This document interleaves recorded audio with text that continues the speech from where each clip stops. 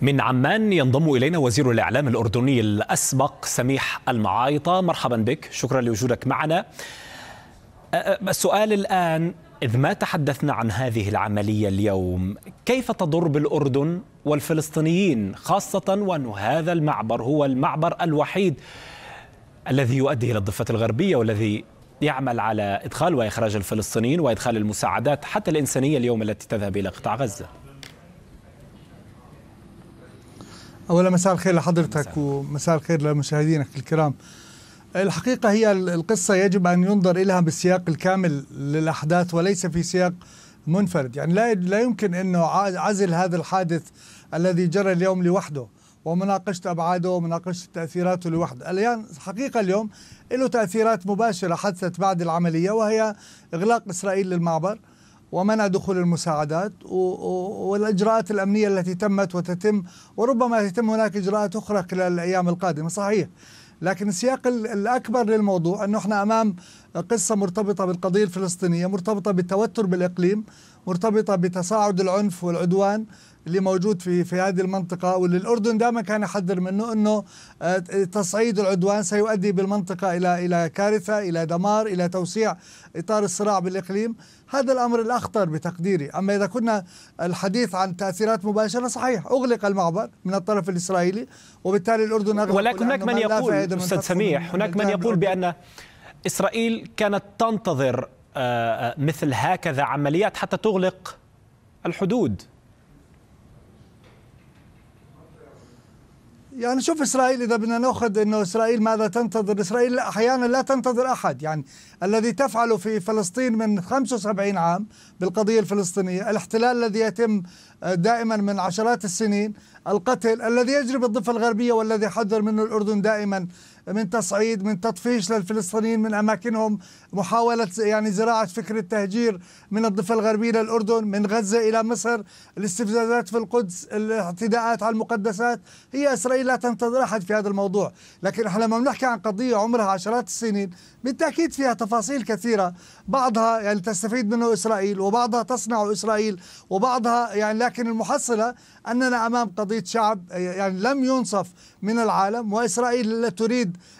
بين قوسين سلام على مقاييسها وتريد حل المشكلة الإسرائيلية ولا تريد حل المشكلة القضية الفلسطينية. هي تريد تتحدث للعالم. شوف حضرتك بغزة بدوروا على حدا يجي يدخل يحكم غزة. بنادوا دول عربية بنادوا دول تعالوا احكموا غزة حتى يحلوا مشكلة إسرائيل. وبالتالي الدول بترفض. مثلا منها الأردن اللي أعلن كثيرا أنه لن يدخل جيش أردني وقوات أردنية إلى غزة لتكون في مواجهة أهل غزة إذا أرادوا يعني العمل أو العمل ضد الاحتلال فإسرائيل تريد العالم أن يساعدها على الاحتلال تريد العالم أن يساعدها على سياسات العدوانية لكن دائما الحكي وترى, وترى إسرائيل في مثل هكذا عمليات أنها تساعدها على الاحتلال أيضا؟ آه، هسه إحنا بسياق لا, لا يمكن ان م. أن ناخذ حالة منفصلة ونجعلها هي لب القضية وندين، إحنا ما بدنا نروح لندين. اليوم لما فلسطين لا أنا لم أقل لك دين يقول بقوم بعمليه أنا, أنا طرحت عليك فقط لا لا مش أنا. آه تفضل. لا لا مش أنا اللي بدي أنا ما بدي يعني آه قصدي لما يقوم فلسطيني بأي عملية مقاومة في فل في الضفة الغربية أو في غزة عمليا هو المسؤول؟ ولا إنه في احتلال عمليا هو الذي لا يعطي حقه؟ العرب الفلسطينيين المسلمين في في القمم الإسلامية قبلوا بالمبادرة العربية. إسرائيل لا تعطي شيء أفشلت أوسلو أفشلت كل الاتفاقيات الموجودة تدير ظهرها للفلسطينيين للعرب حتى إحنا الدول الم... التي ترتبط بمعاهدات مصر والأردن الأكثر تضررا من سياسات إسرائيل بالفترة اللي فترة العدوان على غزة بقصة التهجير. تهجير م. تهجير. يعني لما بتحكي تهجير طيب أستاذ سميح. في أذى للأمن القومي المصري. كيف ناخذ كيف نأخذ آه الإشادة المستعجلة التي جاءت من قبل حماس والجهاد لهذه العملية؟ في, في أي سياق يمكن أن نضعها يعني سياق انه إن هم داخلين بالتحام ومواجهات مع إسرائيل في غزة. فأي أي صوت أي عمل بي بيكون في سياق بيخدمهم أو بي بيساندهم هم بيساندهم في هذا الموضوع هم بيرحبوا فيه. هذا في السياق هذا. لكن ليس في سياقات أخرى بعتقد في الموضوع. يعني اليوم أي عمل بيصير آه، حماس أشادت بعمليات للحوثيين وعمليات لحزب الله. يعني أي صوت معها أي صوت تعتقد ولكن نشاط نشاط حماس والإخوان في الأردن يعني والتذكير أيضا بالتظاهرات التي حاول القيام بها أجندة إيران داخل إيران.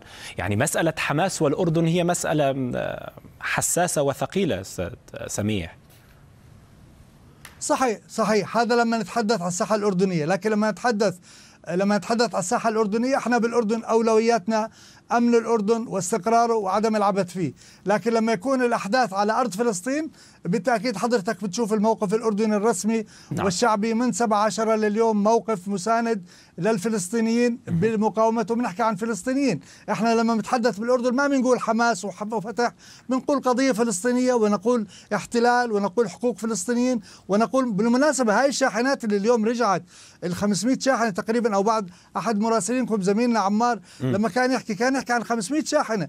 هذه جزء من المساندة الأردنية لغزة آه، اللي تتعبر من إلى من الضفة الغربية إلى معبر معبر كرم أبو سالم إلى غزة. فعمليا هذا جزء من المساندة. إحنا بالأردن كل ما يجري على فلسطين أرض فلسطين إحنا بنسانده مساندة كاملة. بالقضية الأمن الأردني لا. أو الأردن أولا دائما بكل المعايير. لكن لما بنحكي عن احتلال وبنحكي عن آه، ما يجري في فلسطين ومن قتل ومن تشريد لا إحنا منحازين بالكامل بالتأكيد للحق الفلسطيني وضد الاحتلال الإسرائيلي. طيب مسألة أيضا آه، محاولات استخدام إيران وجماعة آه، الإخوان للأراضي الأردنية ومحاولة الزج بها يعني في مسألة الحرب المساندة. شوف هذه بفصلها عما جرى اليوم. هذه مفصول إذا نحكي كأنه بموضوع آخر. عمليا ليست مرتبطة بحادثة اليوم ولا بما يجري في فلسطين. مرة ثانية هو القاعدة الأردنية واضحة واللي كان يحكي فيها جلالة الملك قبل آه، أيام كان حكى فيها أنه الأردن لن يسمح أن تكون أرضه ولا سماءه ساحة للمواجهة بين أي أطراف في المنطقة لصراعات النفوذ بالمنطقة. هذه مفهومة. والأردن ما راح يسمح لأرضه أن تكون آه، عمل لأي تنظيمات أو لأي دول في هذا الموضوع لا خلاف على هذا. يعني هذه قصة محسومة أردنيا. الأردن مش ساحة مواجهة بين الدول سماءه مش ساحة مواجهة بين الدول. وهذه رسالة أبلغت للإيرانيين وأبلغت للإسرائيليين أيضا. حتى يكون العمل الشيء متوازن بالقصة وبفهم الأمور. والأردن لن يسمح بأي لأي تنظيم بأن يعمل على أرضه دون إذنه ودون وبما يمس أمنه واستقراره. لكن زي ما حكيت لحضرتك إحنا بنفصل بين قصص الأمن الأردني والسيادة الأردنية على أرضها وبين ما يجري في فلسطين وبين القضية الفلسطينية وبين السياسة الإسرائيلية العدوانية بحق الفلسطينيين على على التراب الوطني الفلسطيني.